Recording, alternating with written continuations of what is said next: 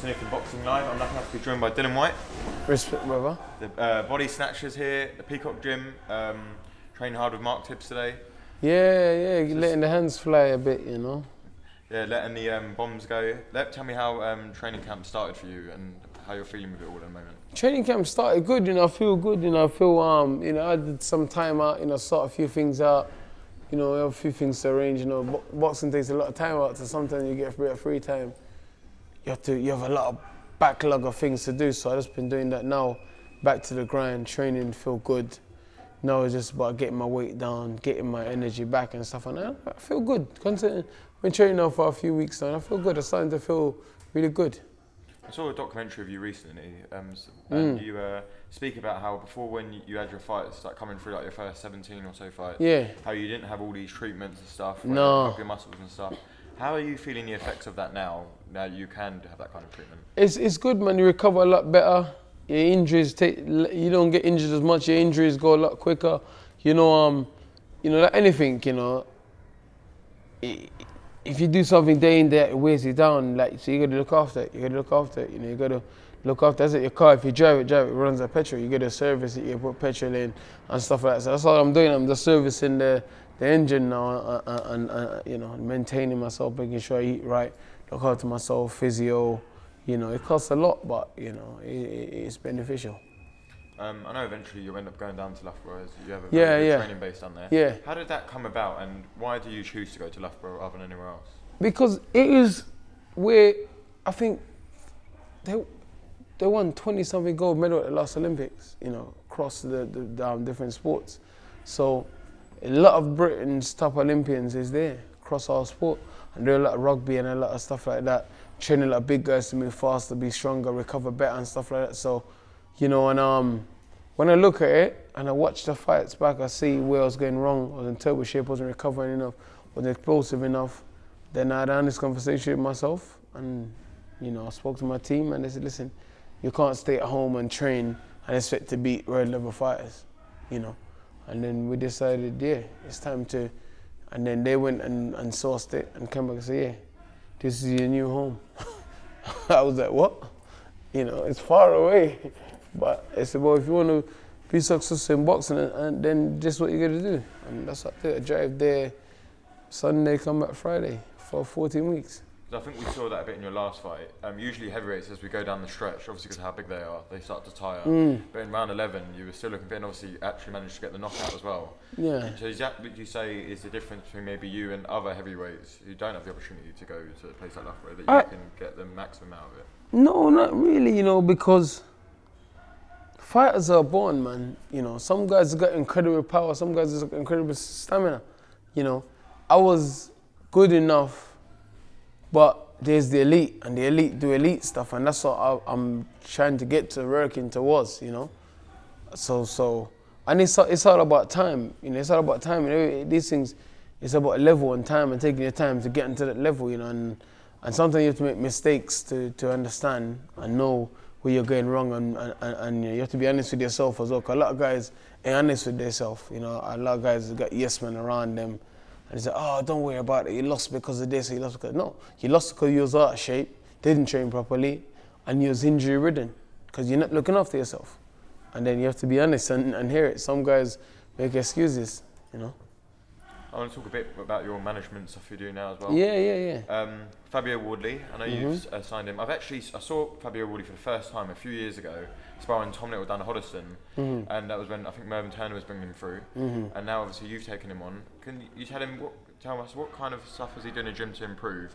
And he must feel a lot of influence seeing what you do day in day out because now you're up there with the elite heavyweights, and that's obviously where he wants to be as well. Fab's very ambitious and he trains hard and he's hungry and he's young. Just got to guide him the right way and pick the right fights for him and take your time with him because he's so young. But um, he's a good fighter. He's, he's got it all. He's got power, he's got reflex, but he just needs to keep his hands up a bit more. That's my only criticism of him at the minute because at heavyweight, one punch and you're done. I know he's a reflex fighter, like to use his reflex, but I'd like to see him keep his hands up a tiny bit more. And that's all, man. He's doing good. He's knocking people out. He's at a stage now where he's knocking people out. He's moving up in the rounds and he, he you know, he's likable as well. So, so you know, that's the only thing. Keep his hands up a little bit more. That's all.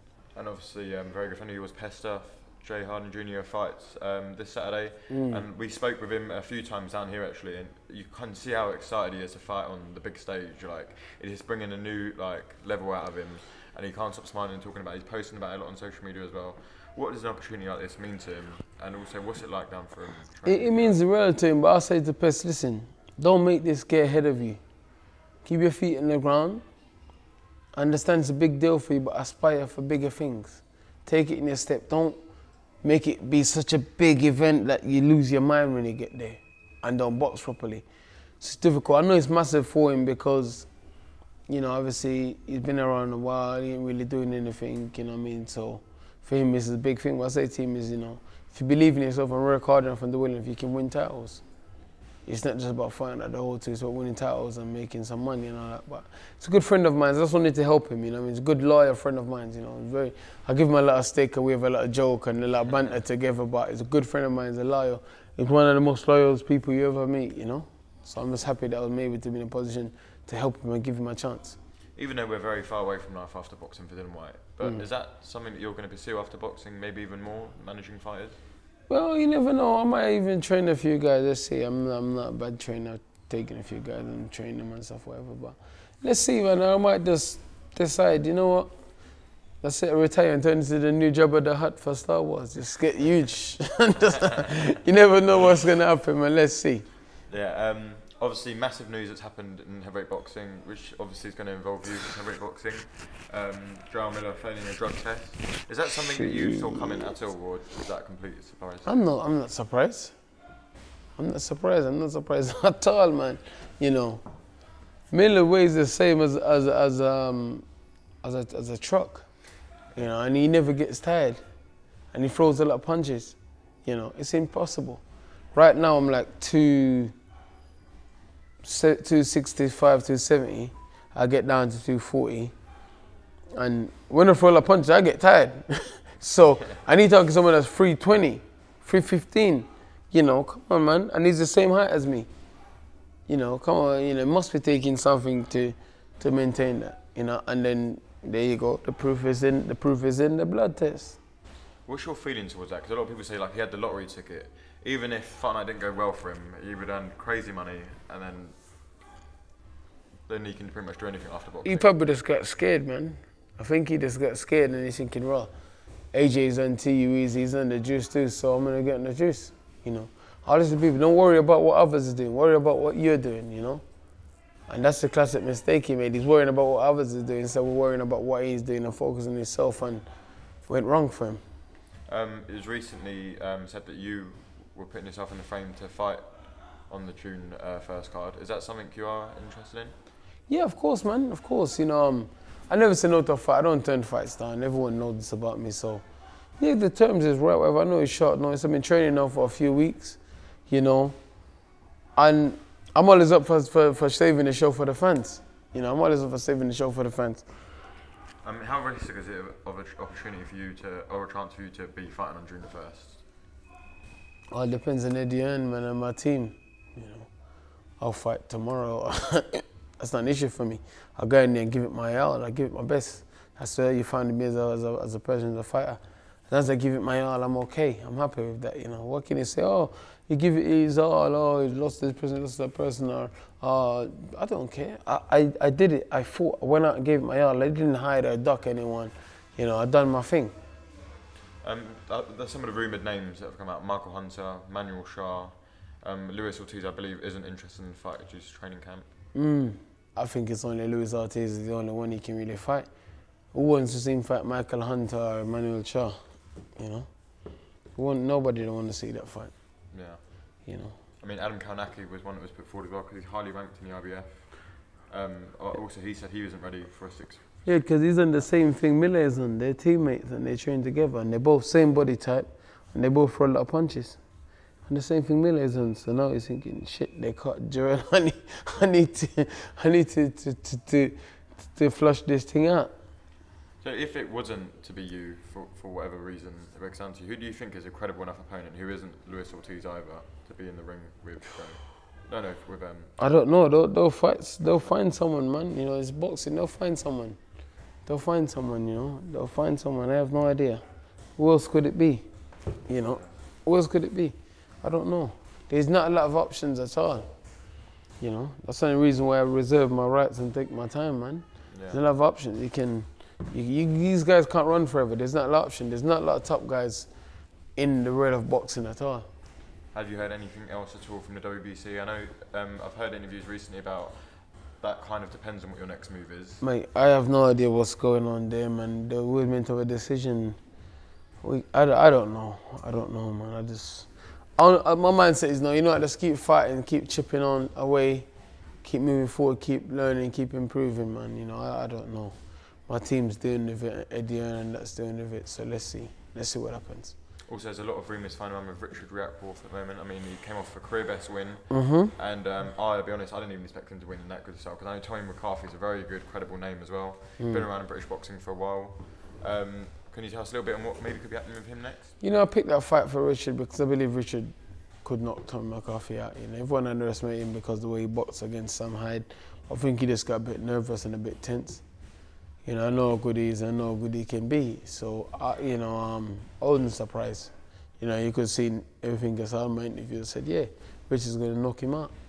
You know, Tommy is a good guy. I like him.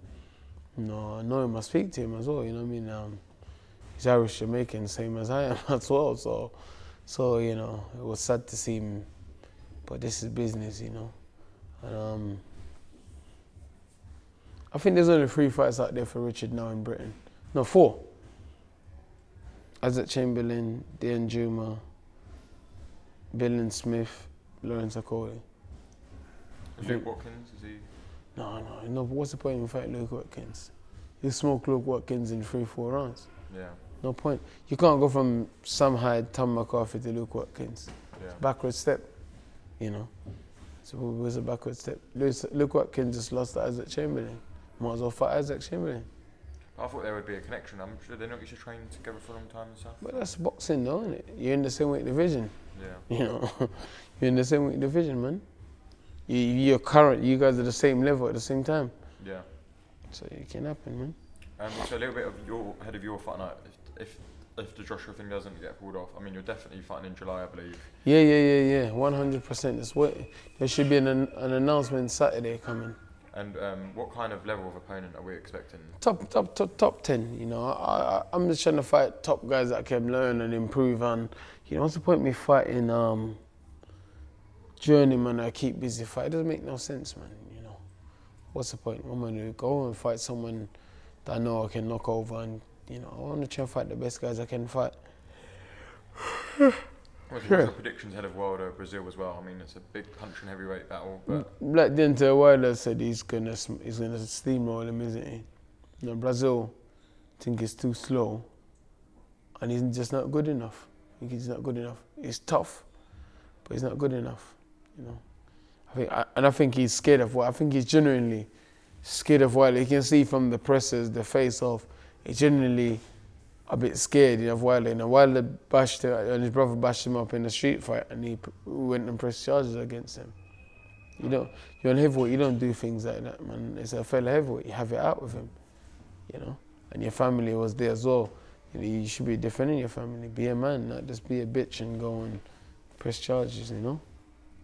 and uh, just to round off, you know what you said earlier about um, Jay Harding and um, uh, like how obviously he had a bit of a bad past and he managed to turn it around, and that's why he's so excited about fighting on the big stage Mm. because he's, he actually said like, don't ever give up because you can always turn your life around and have better things. Yeah. Do you think it's important that people like you, Jay, and other people who maybe had different pasts that they can bring that out and show that to other people, so then they can see that their lives can be turned You, around? you know, I said take it step by step. You know, all it says people, there's no point shouting from the bottom of a tower block. Try and get up to the middle or the top first, and then your voice spread wider and louder. You know, you, you can sit at the bottom and shout, oh, no one, not troop ain't gonna hear you.